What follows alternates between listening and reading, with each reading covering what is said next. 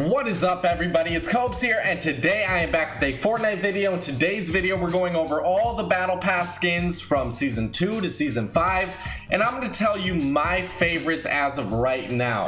I'm going to rank them from worst to best. So drop a like, subscribe, and turn on your notifications. Also, tell me in the comment section which is your favorite skin in any of the Battle Passes of all time.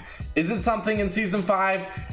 Is it something in season two? I know a lot of people like like Sparkle Specialist or Black Knight, but for me, you're just gonna have to wait and see. So at my number 25 spot, I still don't like these skins. I gave it to the Blue Squire and the Royal Knight. I'm just gonna put these two together because it really doesn't matter. If you wanna put one at the 26 or 25 spot, it does not matter. You can switch them around. I don't like one more than the other. I still don't think these designs really fit in Fortnite Maybe, okay, I'll give it one more season, guys. I'll give it one more season. In season six or seven, maybe I'll start to like them because they're going to be ultra rare, but right now, I just don't like them still, and I don't care if they're rare, honestly. Moving on to my number 24 spot, I gave it to Mission Specialist, and this is a tier 1 skin. But honestly, the tier 1 skins have been getting better, especially in season 4 and especially in season 5. But Mission Specialist, it was kind of that early tier 1 skin that was made to be pretty bad compared to the other skins that were higher up. And it was an astronaut just like the second skin you got and I think the second to last skin you got which was Dark Voyager. So obviously the Dark Voyager and Moonwalker were better. Mission Specialist fell super far behind and I just personally don't like his color scheme or look all that much. Moving on to my number 23 spot, I had to give it to the squad leader. And honestly, I was very disappointed with this skin. It seems like the tier 87 skins are usually pretty disappointing, at least in my book. I don't like this one and it's just a little bit too simple for me. I feel like they can do something a little bit crazier for the for like the tier 87 spot and not do something super crazy for the tier 1 spot. I get it though. They want people to grind out the battle pass and having a tier 1 customizable skin to grind out right away, that gives people incentive to play more, so I'm assuming that's why they do it. Moving on to my number 22 spot, I gave it to Battlehawk. And this one, again, it has the same kind of theme as the squad leader. It's just too simple for me. I don't really like the design. Uh, moving on to my number 21 spot, I gave it to the Sledgehammer. And really, this is like a little bit of an upgraded version of the Battlehawk. And I actually said I really like this skin, um, especially compared to like some of the Season 5 ones. I do like it, I'll be honest. I do like the skin design, but I think Rook deserves a little bit of a higher spot than Sledgehammer. I, I think Sledgehammer has a very simple army design. He does look cool. I just personally don't like him all that much anymore. Moving on to my number 20 spot, I gave it to Rook. And guys, you know, I want to like Rook, but I think there's so many other better girl designs in this season and in every other season we've had so far. And typically the girl designs are going to be like really amazing to me or they're just going to fall flat on their face, kind of like the Royal Knight or Rook in this example. Moving on to my number 19 spot, I gave it to the Visitor. And I have a little bit of love in my heart for the Visitor. I think this this um, time around, the Blockbuster skin or whatever it's called, is going to be a lot better than the Visitor. I hope so. What do you guys think? What are you guys expecting? The Visitor, it just wasn't good. It wasn't. And I, I was so hyped at first to get it.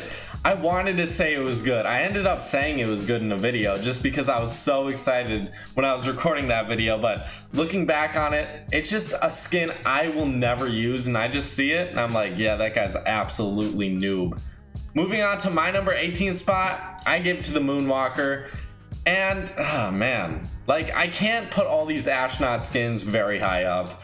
I think the Moonwalker looks a lot better than Mission Specialist, like a lot better. But she still isn't going to be really high up on this list. That's for Dark Voyager. Moving on to my number 17 spot, I gave it to Carbide. And at first I really loved Carbide. I loved his custom, like his customization. Even though really you only get armor for him, you can't really change his colors all that much and his colors don't really work out for me. Like a pink color, a pink and pink and blue don't really go well together. All of his colors don't go well together except for the color blue, which is very standard and it doesn't really stand out. I think they could have had like black lights, they could have had purple lights, or just no lights in general because I don't think really many lights on Carbide would have went good together with the color blue for some reason. Someone leave a comment telling me what you think would have went well with Carbide, like what colors. I think all of his colors didn't look that great, and his upgrades, you know, it made him stand out a little bit, but I still didn't like it all that much. Moving on to my number 16 spot, I gave it to Technique.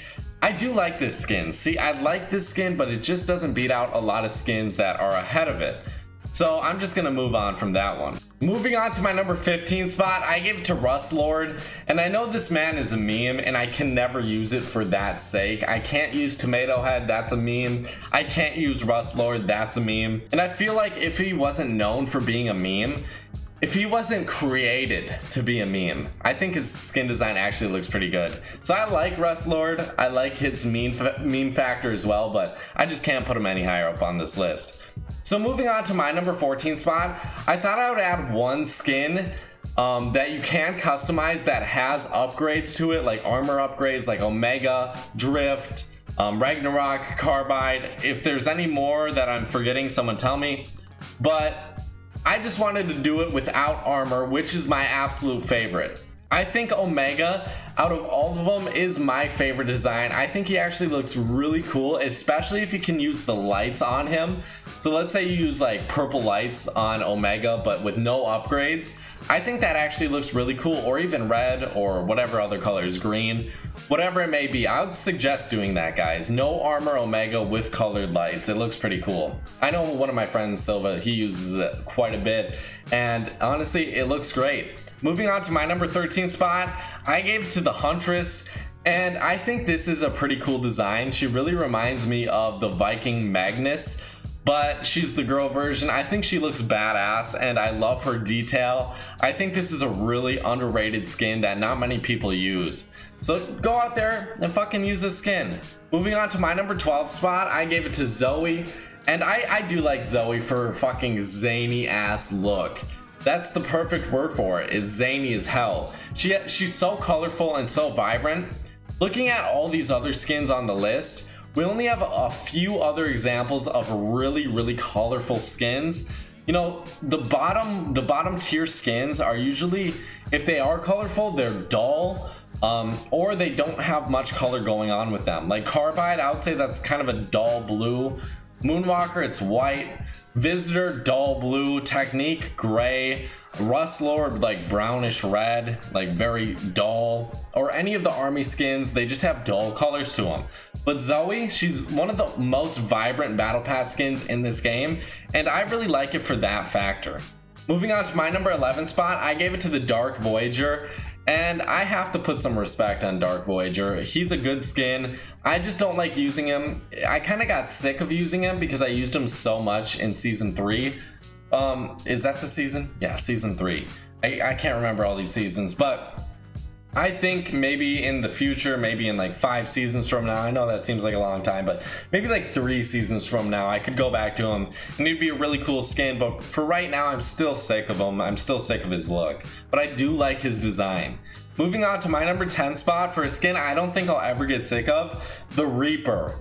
I love the Reaper and I really didn't use them as much as I probably should have. I used a lot of new skins in this time and that kind of is a good thing I think it's a good thing because I can go back to him and I'm not sick of his design. I really like the Reaper and I think he's underrated. I, I don't think he's as big of a meme as some people make him out to be. I think Rust Lord and Tomato Head are way bigger memes than the Reaper. Moving on to my number 9 spot, I give it to Valor and I still love her very vibrant color scheme and she's kind of like Zoe, but I think overall she looks better. She has like this huge fluffy ass hair. She has a ton of hair. And she goes good with a lot of different red backbling. I haven't really been talking about backbling, but Hatchling is my favorite backbling in this game, and it goes perfectly with the Valor. So I would suggest going out and getting the Valor. Go try her out, she's a good skin. Um, well, you can't really get her at this point, but go use her. At my number 8 spot, I give it to the OG Black Knight. And the Black Knight is a skin not many people use. See, I think like the Red Knight, people consider that one OG, but I think the Black Knight is way more OG than the Red Knight. Do people disagree with me? The Red Knight came out again for the last time, except for like the, at the end of season four. It came out in the beginning of season three. So I think personally the Black Knight is way more OG than the Red Knight ever was. But people like to make out the Red Knight to be OG, but I personally think the Black Knight is way more OG and it shows you grinded for the skin in season 2, which I did. So I'm pretty happy to say I do have the Black Knight. And guys, it's OG. Go try it out. Go use it. I, I rarely see Black Knights in this game. It's kind of odd. It's a really nice skin. Moving on to my number seven spot, I gave it to Omega, and I love Omega full armor. I think it was one of the best skins ever to come to this game. But honestly, I feel like it's just topped out by season five customizations. I really do. Like, I, I think if Black Knight was basically like naked, kind of like the Omega is without upgrades, he just has like a skin tight suit, but then you could upgrade him to like the shield, to um, all the other armor he has on. Let's say you could do that. Well, I think Omega would easily top him out. But I think Omega gets topped out by Ragnarok easily and Drift. So at my number six spot, I gave it to Ragnarok, and I do love this guy's design. I do love his upgrade, and I think he looks good without any armor as well. Not as good as Omega necessarily, but I wonder if they're going to add in any colors later on in the season where you can switch up the color, like the full color scheme of the Ragnarok. I may make a video on this later, but I would love to see that. Moving on to my number five spot, I give to the Elite Agent, and I feel like the Elite Agent is going to be one of my favorite skins ever to come out in the Battle Pass. I love its simple design, and it's a girl skin that looks really nice with the all black, and then like kind of the gray and black camouflage pants. They look amazing. Overall, I love the Elite Agent. Gotta go use it. Moving on to my number four spot for a very surprising one, I would say. I have to give it to the Sunstrider. And I know this may be put here because, you know, she just came out. I don't really know. But I still do like her very vibrant color scheme. Like, she's kind of like the Valor, I would say. But I personally like the Sunstrider for the more simple design. But it also is very, very bright. It's very colorful. Like, I feel like a lot of people won't use this skin. And if you guys have it go throw it on. Try it out. See if you like it. I think a lot of people will not use this one. Moving on to my number three spot i gave it to the Redline. And you know the burnout i think is a mid-tier skin. I think he's all right. But for some reason the Redline with all of her tattoos with the fucking motorcycle helmet on only no armor just like a regular shirt on and regular pants that looks badass to me. I love this skin design. Moving on to my number two spot, I gave it to one of my OG favorites, the Sparkle Specialist. And this one is OG, guys. Go throw this one on. I think I might start using this skin again. I kind of want to have like a certain skin I go to that's just my skin. But I think one of the Battle Pass skins is going to be like my skin. Um, I know I could use Codename Elf since that's one of my rarer skins, but honestly, it's just I don't know, it's kind of ugly. I don't like it all that much, but I do like Sparkle Specialist. And then at my number one spot, I gave it to the Drift. And honestly, the Drift is way better than Ragnarok, especially fully upgraded, and I almost have him there. I have him at the fourth tier, and I think already he's one of my favorite skins to ever come out in this game. So tell me your list, guys. Leave it in the comment section. I would really, I, I really am curious. I'll see you guys in the next video, though. Bye-bye.